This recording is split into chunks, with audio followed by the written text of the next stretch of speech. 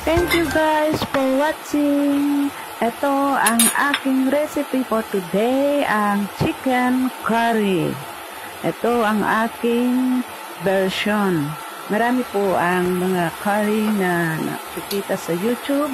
Pero pwede nyo rin ninyong subukan ng aking recipe. Masarap na, masustansya, at malinis pa. Thank you! God bless everyone.